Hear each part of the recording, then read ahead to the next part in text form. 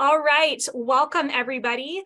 Um, thank you for joining the University of Northern Colorado Alumni Career Panel on Careers in Brewing Science. My name is Lindsay Crum, and I have the privilege of serving as UNC's Assistant Vice President for Alumni and Community Relations. And I'm joined by some wonderful UNC alumni who are going to share their experience in the brewing industry with you. If you're really clued into brewing, um, like most people are in Northern Colorado, you know that this is an exciting and growing industry.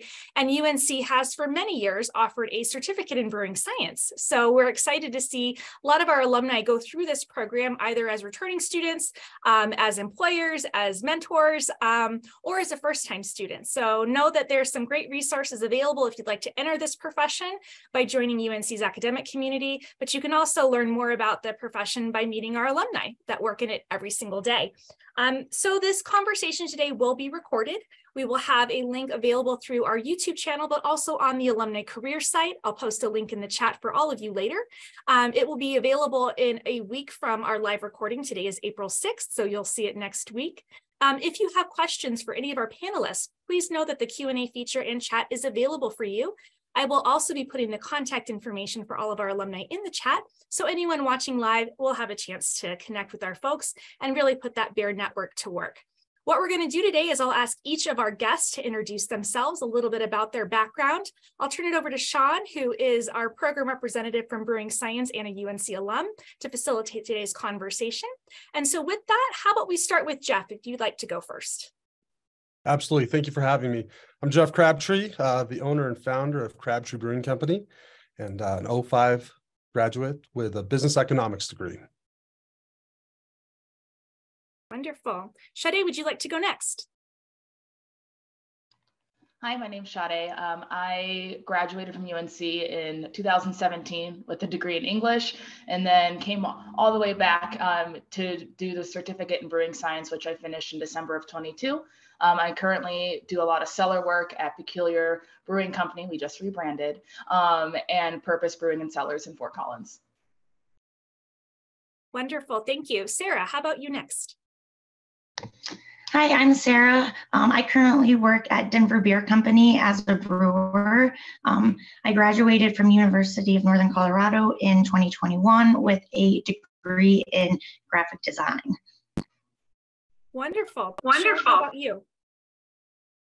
Um, I'm Sean Johnson. I graduated with my uh, degree in chemistry in 2014 and then did some research on brewing chemistry for my master's degree, um, which I got in 2016, and kind of went into industry for a little bit, but stayed connected with the brewing program in its infancy, really, and came back to be one of the instructors and am now the program manager for the Brewing Laboratory Sciences program uh, that is offered here at UNC.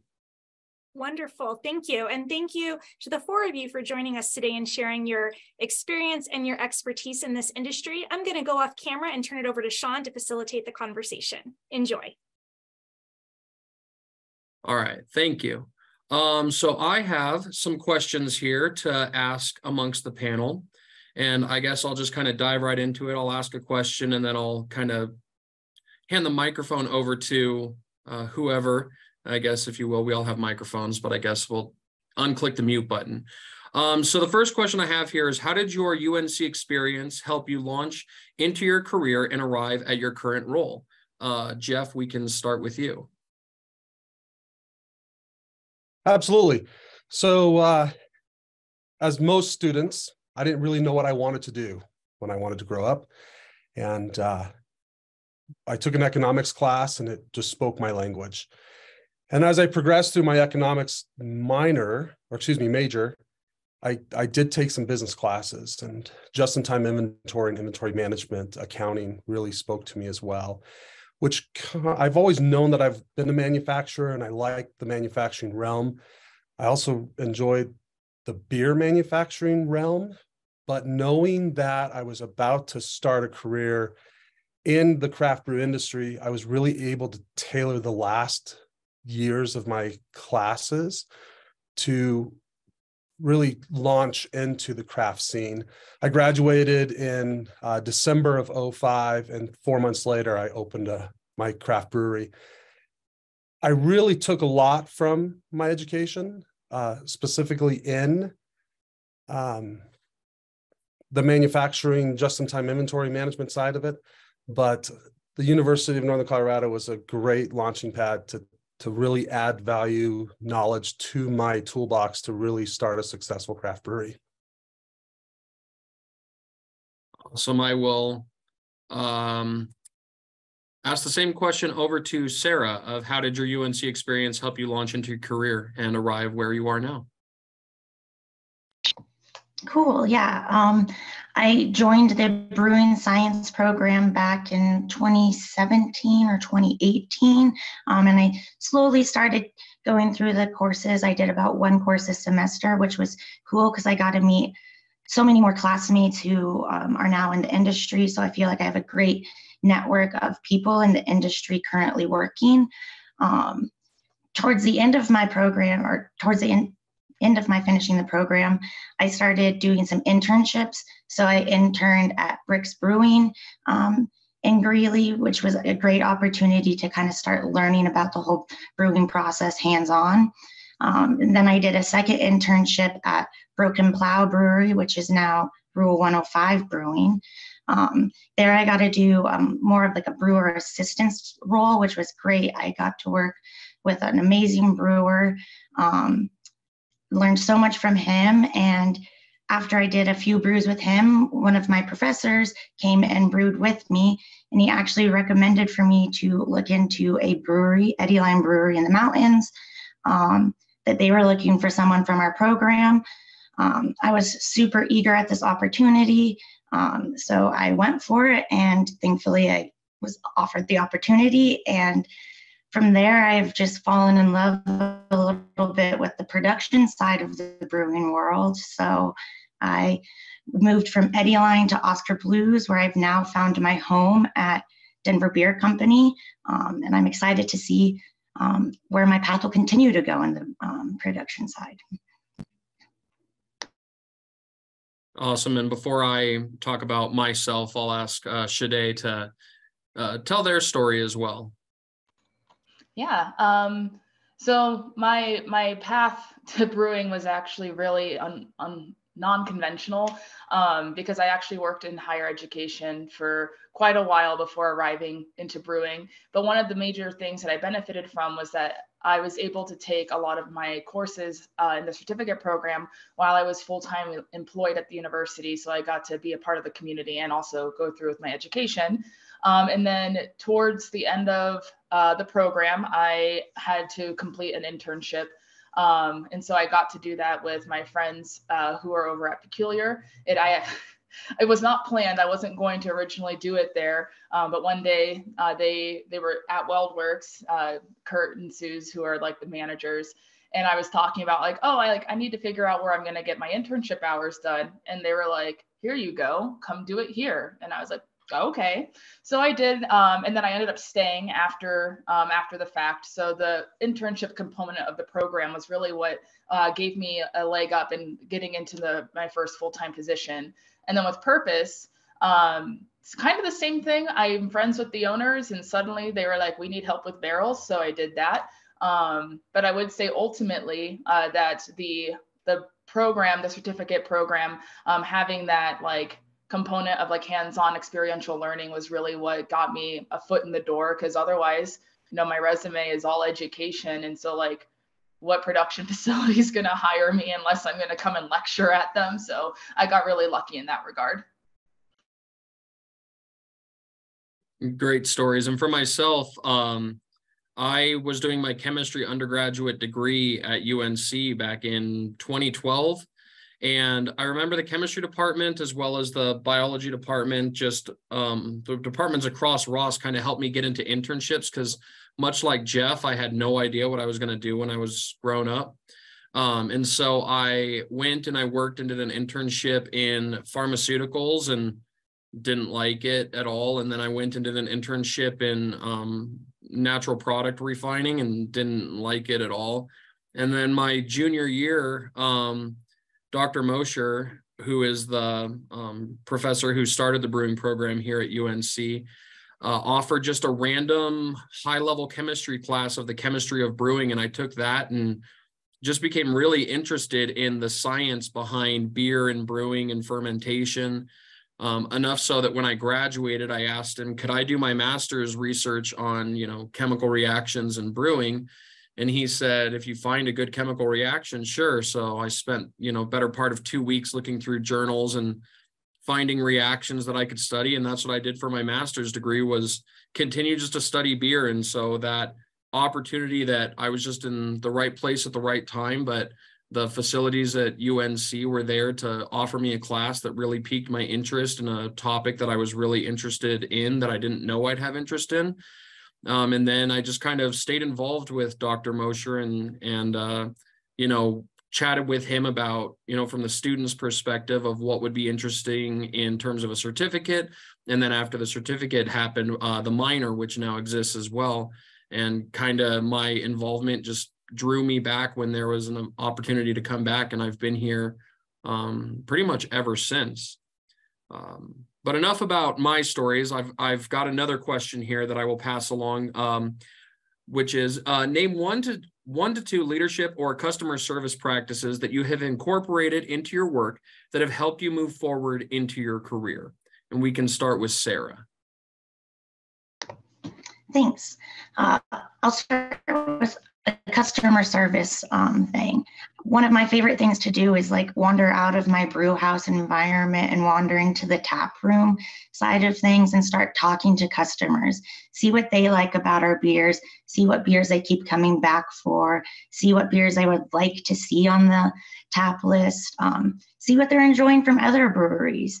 Um, if I have the time or they have the time, it's really fun if we can wander back to the brew house together and we can do a tour and show them the brew deck, um, kind of go over a quick understanding of the brew process if we have time for it. Um, sample a beer from a bright tank so they can taste um, a super fresh um, carbonated beer. Um, so that's one of my favorite customer service skills to use in this industry. Um, for a leadership skill, I think the program at UNC did a really good job at teaching me a lot of um, more managerial tasks that the brewery might ask of me. Um, creating standard operating procedures was one of the assignments that stuck with me most from the program, and I have now been able to apply at my jobs here, and I've been able to um, completely standardize and rewrite um, standard operating procedures for um, the breweries I've worked for, or just help in the process of investigating if there's a better way or experimenting with different um, thought process of how to get to the final solution. Is there a quicker, more efficient way? Um, is there a safer way to do it? Um, so I think that's one of my favorite things that I learned at UNC was how to do standard operating procedures and things of that like um, that can help me lead a team. Same question. Great answer, by the way. Um, all of my students dislike when I make them write SOPs, but I promise I do it uh, for future benefit. But same question over to Sade. Oh, those dang SOPs. I I was just laughing because I was like, yep, that's the part that stuck with me the most too, because I rolled into peculiar and I was like, so how do we do things? And they were like, you just do them. And I'm like, oh, okay. And I was like, well, the good thing is, is I have to write all these SOPs. So like, let's standardize the process, um, which I still get to do. Um, and Purpose doesn't have any SOPs. So I'm just out here utilizing that very well learned skill um, every day. Um, so like yeah i agree with what sarah said that uh, that, that particular assignment was extremely beneficial um, and also i agree with the idea too of learning a lot of the managerial tasks see i'm always looking at cost effectiveness and like like for example i had this this recipe that used mostly pilsner malt and then like a little bit of dextrin malt and the dextrin malt didn't really do much so i was like could we just like cut that malt out and just make it less expensive or like vice versa you know? Because uh, sometimes you like brew a recipe and you use fun things because it sounds cool and then you get there and you're like well that malt didn't offer anything to this beer except for like maybe a slight roastiness or something you know? Like so if you're able to like cut back on um, recipes uh, or like ingredients and stuff that's always good for cost um, like customer service sometimes i get sometimes I get thrown into the, the throes of the tap room. Um, so I always have to be able to navigate customer interactions. Um, but your customers are like the best resources when it comes to knowing what beer you should make next. Because if you are talking to people and like a certain style is selling, if your neighborhood uh, friend brewery, friendly breweries in your area are like selling a specific style, like being able to discuss with customers like what they're looking for or like what they like about a beer that's a great way to it's like a market study and just being able to do that um, and build those relationships with those clientels and like having that one customer who's going to walk up to you and be like dude this beer's trash. I'm like you know what? I don't have feelings but thank you. Um, it, just like being able to have that good cordial relationship um, and building that audience is really critical. Um, but yeah so i think that ultimately just like the managerial skills that i learned through this program and just being able to build relationships is like my top two uh, favorite things that i'm able to do every day. Jeff do you have anything that you would like to add as well? Absolutely. I love hearing both of your stories. Sops i always think of is that like a subway sandwich or something uh, because i was not trained in the SOP world. So when when I started the brewery, it was fun to to really start training new brewers and say, this is how we do things. Follow what I do. Ah, SOPs. So I'm really happy to hear that you guys have been well versed with that. So good job, Sean, making sure that happens. And customer service, I love how you brought that up as well. Talking to your customers is so key because we can we can scour the internet and look at beer reviews, but it's on a micro level, you really being that neighborhood tap house and that that local regional brewery, you need to understand what's really happening in the marketplace. And talking to the people who are buying your beers are the way to do it. Um, one of the big things that I do for my team and myself is continued education. Like always read up, always sharpen your your your toolbox because there are things that I'm still learning today after being in the industry for 20 years that boy, I wish I would have known how to do that. Well, now I do because out of necessity, I've had to figure it out. Um, but continuing that education and really, uh, the university offers some other adjunct classes to, to really tap into to really further that along. Uh, running just-in-time inventories, just running the business day-to-day operations and even HR. How to how is all of these wonderful humans in this organization going to communicate together successfully and make those customers happy. So that's great. But SOPs, if you guys need more practice, you can come over to the brewery and I'll uh, give you some SOPs that need to be done. I was just about to say I'm available for contract hiring.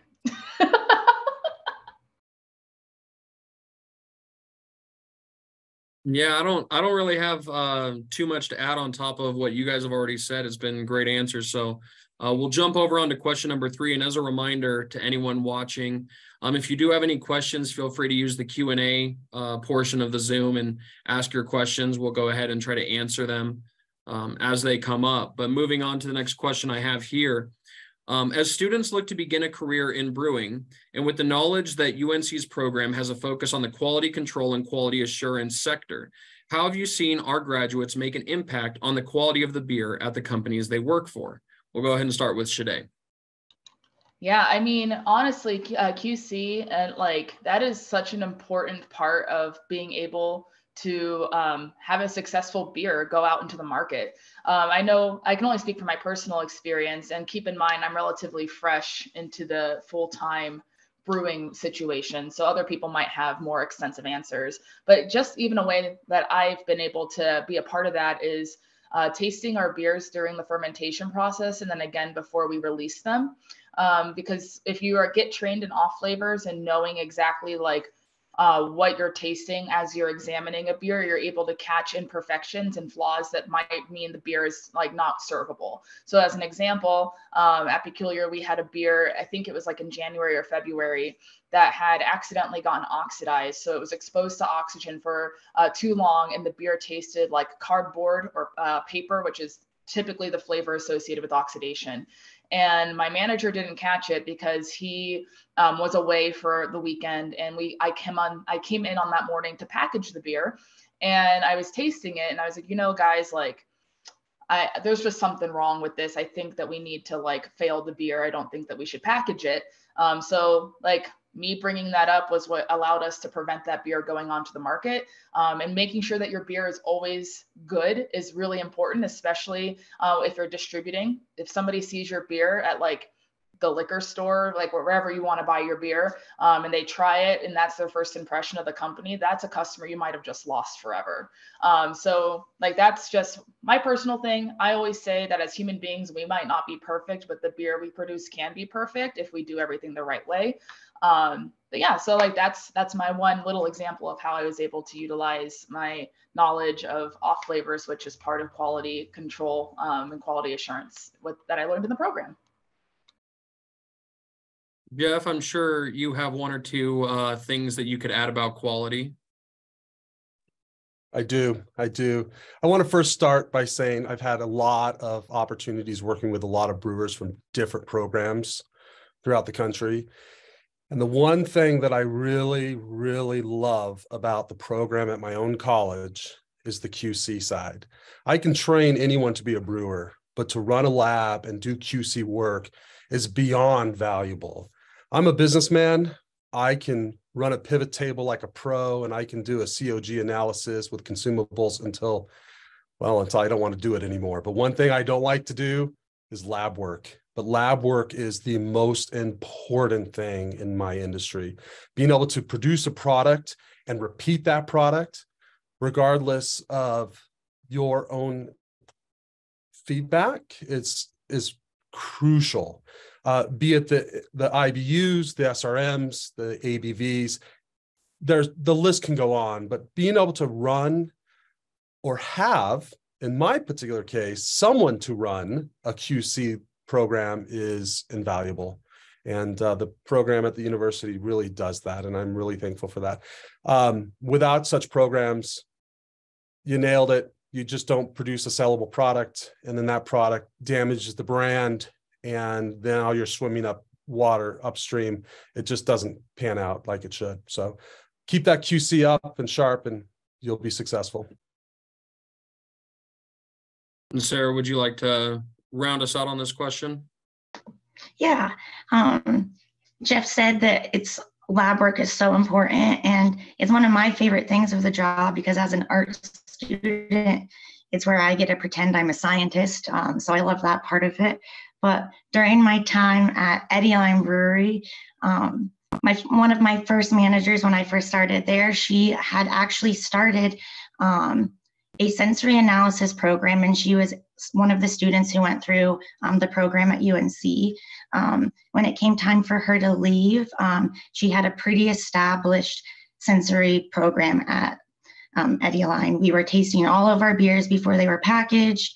Um, we were tasting them after they were packaged. Um, it was really cool. We were able to experiment with the shelf life of the beer. So we had a very confident answer of when our beer was no longer tasting um, in spec the way we wanted it to taste. Um, and we were able to then figure out once we knew what our shelf life was, can we get this shelf life better? So we were able to keep experimenting with other things in the brew house um, to get that short that shelf life as long as possible. Um, once she left, I was given the opportunity to take over her sens- sensory analysis program, which was so fun for me. I was able to teach my staff or my staff, my coworkers and our taproom staff um, how to essentially be tools for me. I taught them how to taste off flavors. Um, we would spike beers with off flavors so we knew what they tasted like, what we were looking for in beers. Um, and from those classes, they were able to become my tool. And then it was amazing. They were able to tell beers that were just a week apart. Um, the consumer might not be able to tell beers that were a week apart, but they were able to tell um, beers that were brewed a week apart. So that was so fun to see people go through, learn from me, and then see them implement it in their work. And sometimes they would find beers in the market that we pushed out and they would bring it back to our attention and say can we look at this batch number um, from our sensory database and see if this was a one-off with this can or if we need to look more into this batch and see if there's more we can do for it um, so i love being in the sensory world like I said, pretending to be a scientist is my favorite part of the job.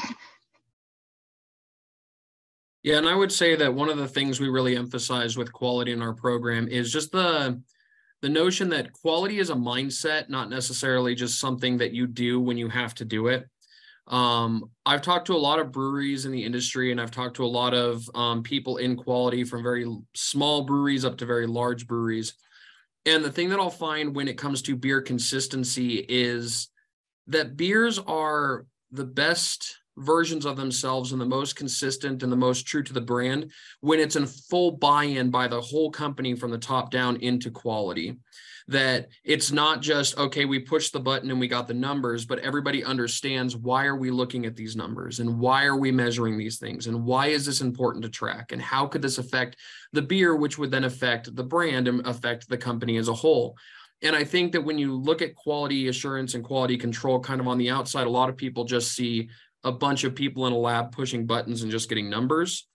And the importance of understanding that the deeper aspect of that being that it, we're not just training uh, people how to you know get numbers. We're we're training students how to go into the industry and help instill this mindset of quality and this mindset of what's important when you're trying to um, produce good beer. And one of the things i tell a lot of my students if you go to a brewery odds are they have their brewer already because they make beer and so they've already got that part figured out so I tell them what, you know, what additional value can you bring? And a lot of that is the quality alongside whatever their major might be. If they're pursuing the minor is, you know, they bring along this idea of quality and these ways to implement quality along with whatever their expertise might be in their graduated field. And that brings in a heck of a lot more value than just the person who wants to be the bartender or wants to be the brewer and having the knowledge of the brewing process and all of those other things is helpful but so are so many other things that you can add to your resume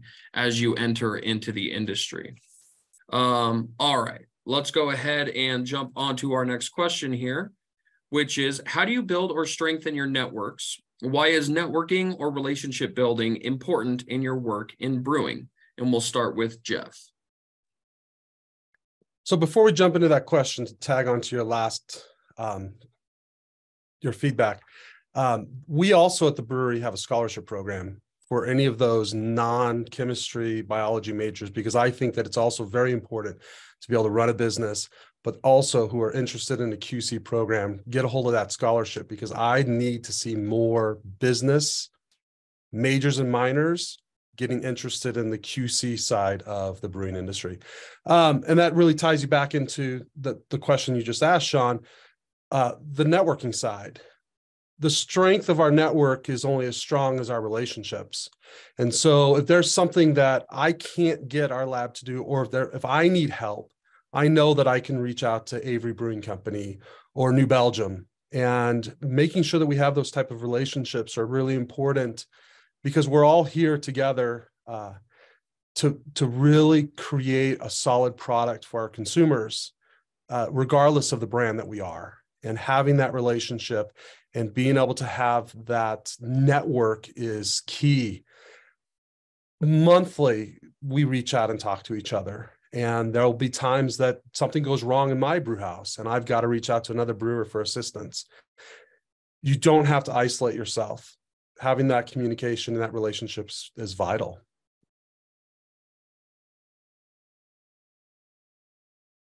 Uh, and I'll pass along the same question over to Sarah. Yeah, I think networking is like super important in this industry. One of the things that drew me to this industry in the first place was how big this community is and how sharing and open this community is. We're all in it together versus against each other, is how I feel. And I really love that um, kind of as Jeff was saying, like if we forget to order hops, we can reach out to a brewery up the road. They probably have hops on hand for us. We don't have to push off our brew day. And then um, I have recently joined um, Pink Boots Society, which has been a great opportunity to meet more um, women in the industry. Um, I often don't meet many women in the industry. So joining organizations that kind of um, tailor to me and my style of brewing has been great um, to meet more people, but it's important to keep those connections again so that um, that community stays as strong as it is right now. And uh, toss it over to Sade.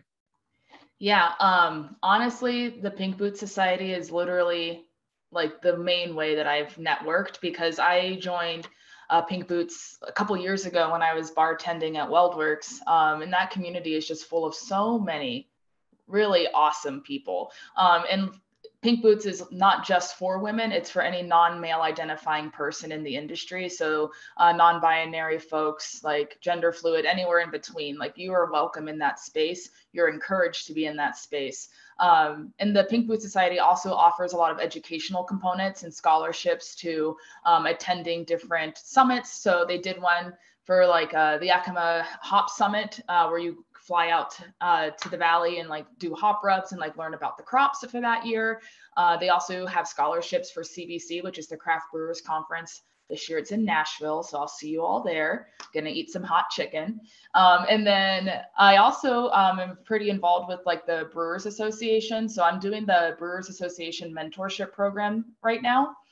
And basically, it's like a 12 week program where they pair you up with somebody who um, has been in the industry for a while. So, my mentor, his name's Eric, and he is the owner and founder of, um, oh, Cahaba Brewing, which is in Alabama. And he is just so cool. And we're able to learn a lot from one another because I'm fresh out of school. So, I have um, some more recent knowledge and he's been brewing for 15 years so we're really able to like tag team um, our mentorship program but ultimately, I think just making friends with your local breweries is just so incredibly important.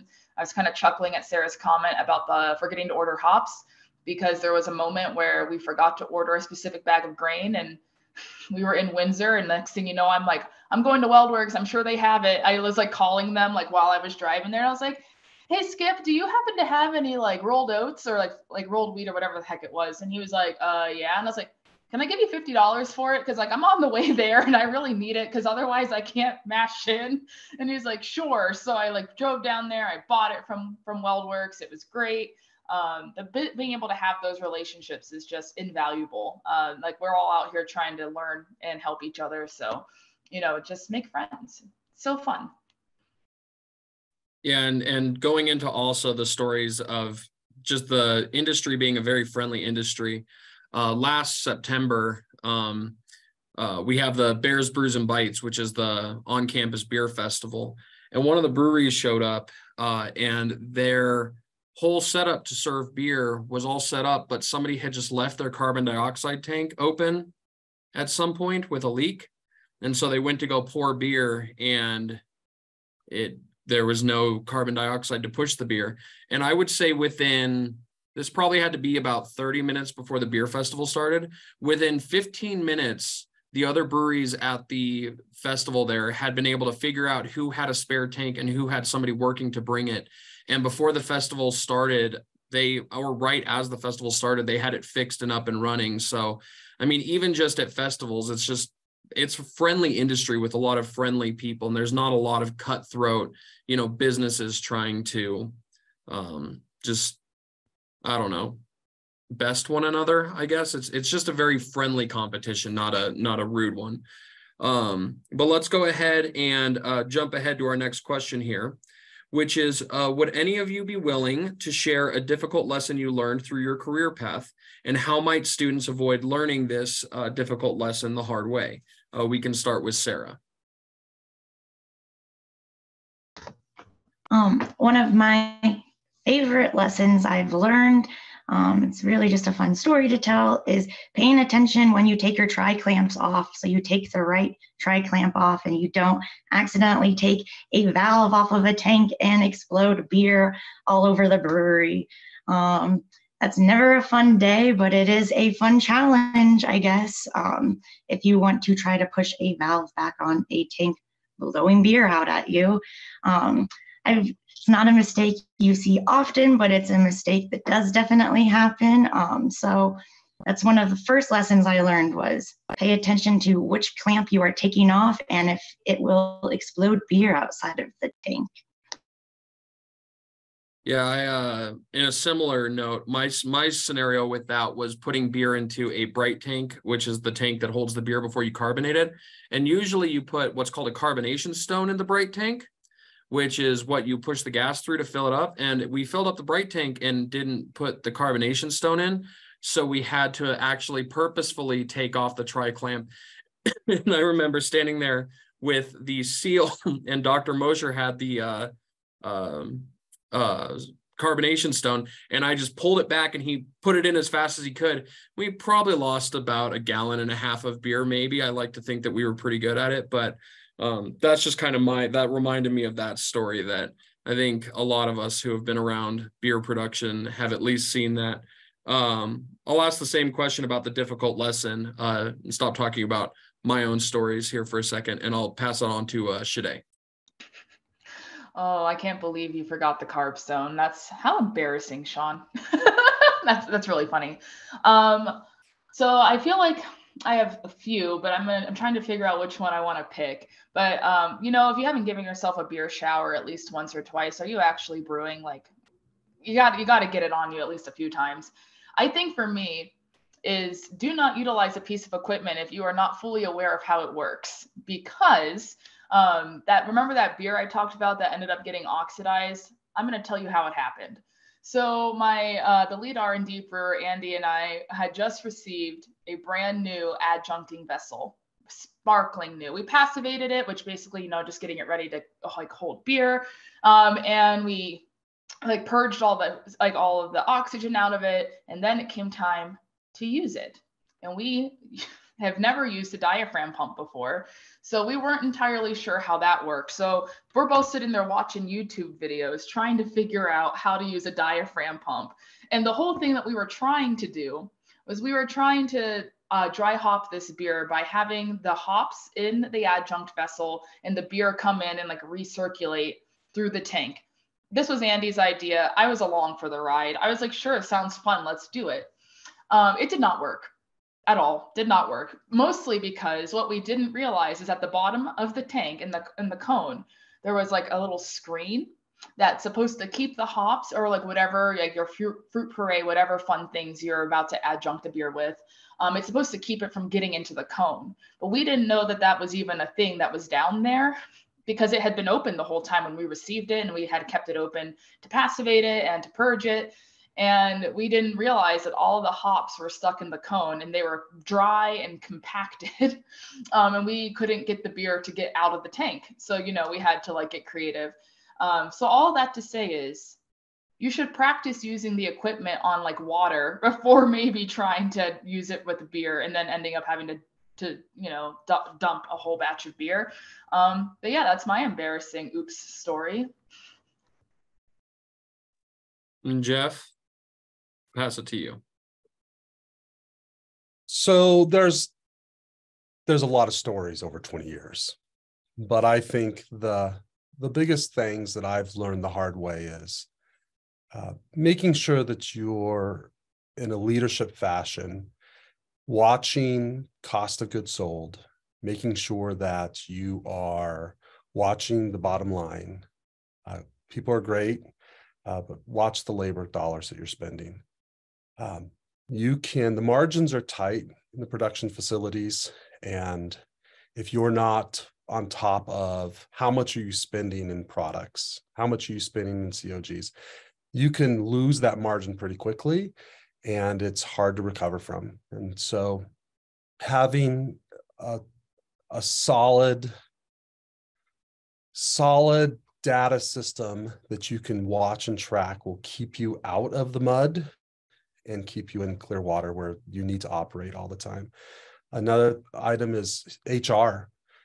HR is a big thing for me, having that open communication with employees and staff and making sure we're all on the same page about our goals and our mission statement and where we're headed to will help us uh, maintain a successful facility. And there were years that I just kind of said, okay, we'll just wing it. And that bit me in the butt several times. Um, people not happy, uh, that equated to not producing solid products that we were happy about. And so um, keep uh, keep attuned to the business side of the brewing and uh, hopefully you'll keep out of those beer baths.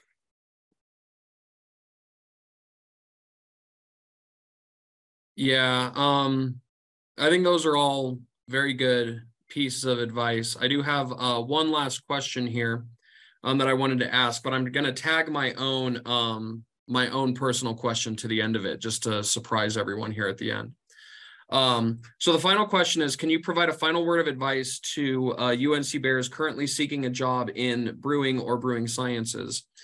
And then after you answer that, I just want to tag on, does anybody have anything that they're excited about beer wise, either that you're making that you know is coming out, something that's happening that's exciting for you, then that isn't the craft brewers conference in Nashville, because that's an answer that's cheating. Um, because everybody is excited about that if they're going. So I'll just kind of pass those two questions along to to everyone. Is any advice you might have for students uh, looking to get a job, and then just what are you excited about that's happening in the beer world here coming up soon? And we'll start with uh, Sade. Yeah, I think my biggest piece of advice is you know what you know so go out there and like fight for that job that you want because you might be like mm, i'm a little underqualified for this and I don't know that I should apply, apply anyways. You should just do it. Take the leap, take the risk. Um, and most importantly, never stop learning. Take advantage of all of these resources we have. Um, I'm currently, I decided to do the um, Institute of Brewing and Distilling Diploma, which is um, an international uh, program where you can learn from a lot of brewmasters from all over the world. Uh, there's this one woman who's teaching right now from South Africa, and it's just like, the coolest opportunity to just to get a slightly even more in-depth um, education than like you'll get um, i mean sean you're wonderful but like you know like just learning from as many people as you possibly can is like the key to success.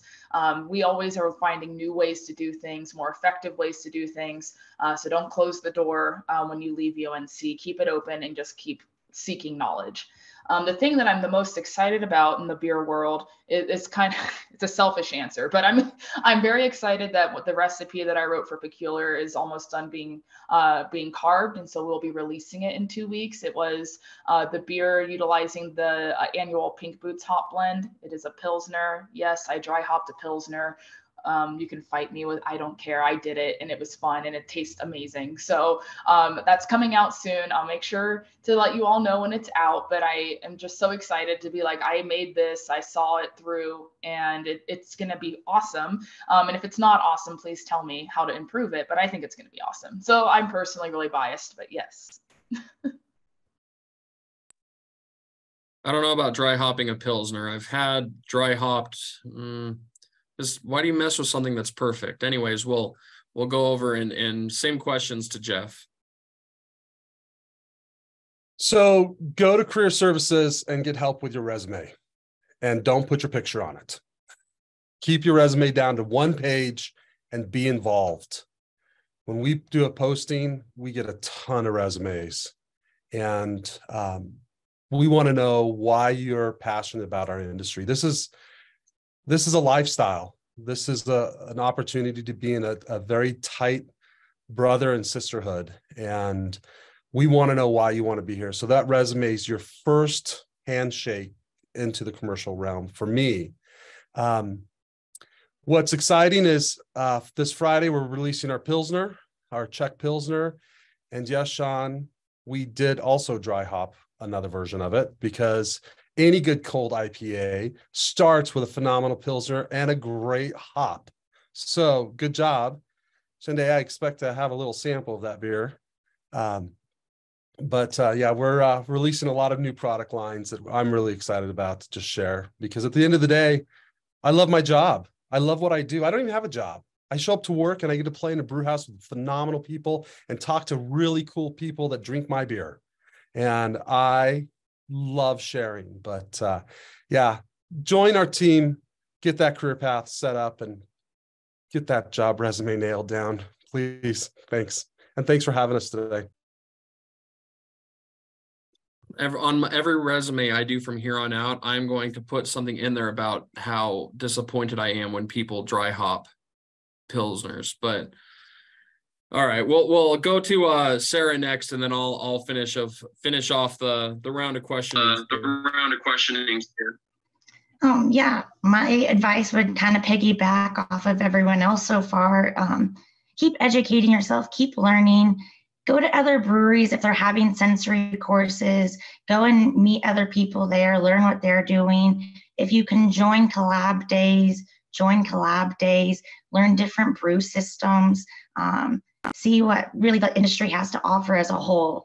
Um, and networking is so important and don't don't lose those connections either try to keep them keep them alive it's been so great to have um, continued connection with Sean, um, Dr. Mosher. Um, I've been able to do a collab with Dr. Mosher at one of my breweries before, so that was awesome. Sean just visited one of my breweries. Um, keeping up with my classmates has been great because I run into them, I see what they're doing. Um, just keeping those connections alive is really important, I think. Um, and not to disappoint Sean, but I also um, just made a dry hopped Pilsner recipe. Um, so I guess that's three for three to disappoint him. Bye, Sean. Um, but um, that it was really great. It was an awesome opportunity. It was a Pink Boots collab similar um, to Sade's. Um, so many women came together. A woman from California flew for this brew day, so that was like amazing that someone from LA flew to Denver just to brew a beer with the rest of us. Um, something that I'm looking forward to coming from Denver Beer Co. that comes out today for opening um, opening day um, for the Rockies is a Cracker Jack beer. So if you like Cracker Jacks, this might be up your alley. I don't love Cracker Jacks, but the labeling and marketing behind it's super fun. I'm gonna I'm I'm I'm I, I'll admit defeat. Apparently, apparently it's a popular thing. I I don't have to agree with it, but I'll admit defeat on the dry hopped pilsner um, front. I do have a question that came in for you, Jeff, um, which is asked: What is more important when starting a company, focusing on the brick and mortar or the distribution to liquor stores and bars? Uh, the very first thing that I would suggest any entrepreneur to do is uh, the brick and mortar, uh, I would personally start with a business plan and make sure it's solid. Um, having a, a, a somewhat gray idea of how you're going to get from point A to B, and I say gray idea because you won't have a crystal clear idea because I still don't have a crystal clear idea. Um, but being able to focus on the brick and mortar and ask questions to yourself um, how much do you want to produce? What is your goal? Uh, the distribution network will come at its own pace. You don't have to get into distribution. Uh, the tap house craze, when I started the brewery in 2006, you had to distribute. Now I see successful breweries just run a tap house. Um, but knowing your layout and how much beer your goal is to produce will really tie you into how large of a facility do you need? Uh, how much capital investment you're going to have to put into structural assets? Um, and then if you want to get after the distribution channel, uh, liquor stores are uh, an easier barrier to entry to sell to first before draft accounts. And when I first started, that was opposite. Um, but being able to get your canned or bottled products to liquor stores uh, that sell like craft products, that's a key, um, is really plan B in the overall side of the, the, the business model. I hope I answered that question for you. All right. Um, well, I don't see any other questions uh, open. So um, I want to say thank you to everyone as I prepare to um, pass this back over to Lindsay. But thank you to Jeff and um, Sade and Sarah.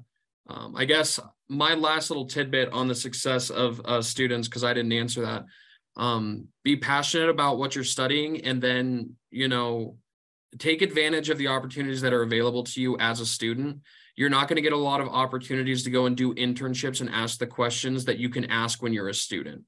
When you're just somebody looking for a job, it's a different world out there than when you're a student looking to learn. And I think a lot of people are really looking and, and willing to help people learn um, and and so utilize that time while you're at at school and while you're doing your studies but with that i will uh, go ahead and pass it back over to lindsay Thank you, Sean. And thank you to our panelists. I particularly enjoyed the banter back and forth about the dry hops. I enjoy drinking beer. I do not know how to do the great work that all of you do. I am one of your consumers and I've actually had many of your beers. Um, so thank you for doing an excellent job at providing a very delicious um, product, but also I think the wonderful thing about the industry that you're all a part of is it is a very community oriented industry. I know Jeff talked a little bit about that and um, just the culture that um, beer houses and tap rooms um, and beer halls and beer gardens provide, whether you're consuming um, beverage or not, um, they really kind of become a, a part of our Colorado family um, and where people gather and have conversations and hear music and just enjoy one another's company. And so you're a part of um, one of a very unique industry. And I think that's one of the reasons why so many people are attracted to it right now and why we're proud that so many of our alumni are choosing to enter that industry. So thank you for sharing your expertise and insight today.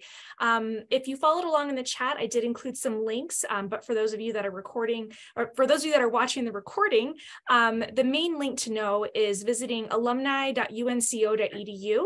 Um, on our career site, we have links to recordings for this and other resources to help you connect and put your UNC Bear Network to work.